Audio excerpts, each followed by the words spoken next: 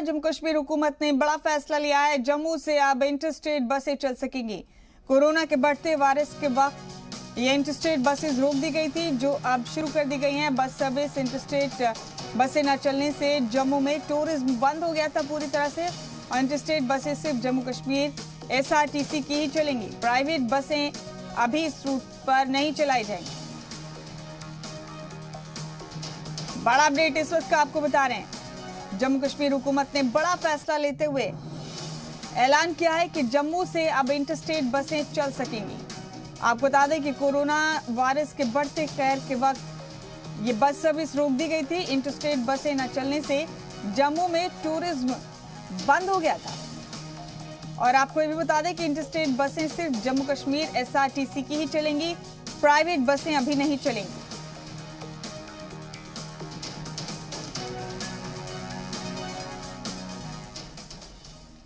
और हमारे साथ इस खबर पर हमारे नुमाइंदे जितेंद्र नूरा बने हुए तमाम तफसीलात के साथ।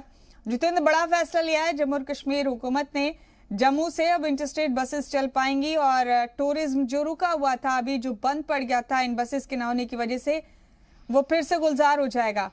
हालाँकि इस बीच एक शर्त यह भी है कि प्राइवेट बसेस नहीं चलेंगी। क्या तफसीलात हैं आपके पास? अगर कोविड की दूसरी लहर चल रही है, कहीं ना कहीं देखा जाएगा कोरोना कैप्सूल गया था कोरोना के चलते हुए सरकार की तरफ़ से निर्देश दिया था कि इनकी स्टेट बसें रहेंगी वो बंद रहेंगी। कहीं ना कहीं सरकार का जो बहुत बड़ा फैसला है कि इनकी स्टेट बसें चलेंगी।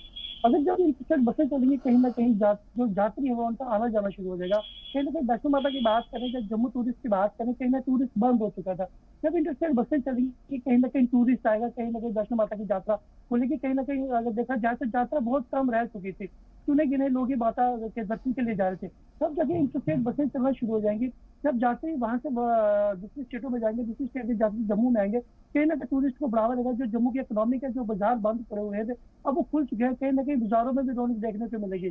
टूरिस्ट के बढ़ावे से कहा जाए तो अगर टूरिस्ट जम्मू में आता है जो लोग टूरिस्ट पर डिपेंड रहते हैं कहीं ना कहीं उनको काफ़ी राहत मिलने वाली है। जी। जी तो यानी अब पूरी रियासत में ये इंटरस्टेट बसेस चल पाएँगी। इसका मतलब टूरिज़्म के हवाले से देखें जितेंद्र तो ये एक बड़ा फैसला है और वहीं मकामी लोगों को भी ज़ाहिर सी बात है, बड़े पैमाने पर परेशानियाँ पेश आ रही होंगी। तो इस हवाले से ये कितना बड़ा फैसला है? ये ये फैसले की बात करें तो बहुत बड़ा फैसला है देखा जो जो जम्मू की, अगर टूरिस्ट की बात करें तो जो जम्मू के लोग टूरिस्ट पे डिपेंड रहते हैं। बाज़ार जो है, वहाँ पे टूरिस्ट आता है, मंदिरों में घूमते हैं, जब वैष्णो देवी की यात्रा है यात्रा पे जाते हैं तो लोग वहाँ पे उम्मीद करते हैं कि जब यात्रा बढ़ेगी, कहीं ना कहीं जो हमारे जो मतलब दुकानें का जो चलेंगे, दुकानें चलेंगी तो लोगों का रोज़गार चलेगा। जब यात्रा शुरू हो जाएगी, एक बार जब टूरिस्ट बसें चलना शुरू हो जाएँगी तो सरकार की तरफ़ से कहा जो इंटरस्टेट बसें हैं। लेकिन प्राइवेट बसों को कोई इजाज़त नहीं दी गई है। अभी उनका फैसला होना बाकी है कि क्या वो चलेंगी कि नहीं चलेंगी। लेकिन सरकार की तरफ़ से जो भी साफ़ तौर पर कहा गया जो इंटर बसें में चलेंगे। उनके लिए मास्क सैनिटाइजर और सोशल डिस्टेंसिंग रखना ज़रूरी होगा। ये चीज़ें रहेंगी तो आपसे टूरिस्ट को बढ़ावा मिल सकता है। क्योंकि देखा जाए तो कोविड की अभी दूसरी लहर खत्म हुई है। कहीं ना कहीं सरकार को ये भी लगता है कि जिस प्रकार से कोरोना केस मतलब कम हुए हैं अगर जो टूरिस्ट में अगर जो सोशल डिस्टेंसिंग रखी जाएगी तो मतलब एक तो कोरोना की दूसरी लहर को जो खत्म हो है जो बढ़ावा मिल सके। अगर देखा जाए तो तीसरी लहर की भी बात की जा रही है, इसको सबको मतलब अंदाज़ा में रखते हुए सरकार की तरफ़ से फैसला लिया गया कि टूरिस्ट ऐसा किसी बसें चलाई जाए जो गवर्नमेंट की है, कहीं ना कहीं टूरिस्ट जम्मू में आ सके, जो लोग जम्मू में जब फंसे हुए जब दूसरी स्टेटों में फंसे हुए वो एक अपने घरों को जा सकें। जी। शुक्रिया आपका जितेंद्र, हमारे साथ जुड़ने के लिए इस खबर पर। बहुत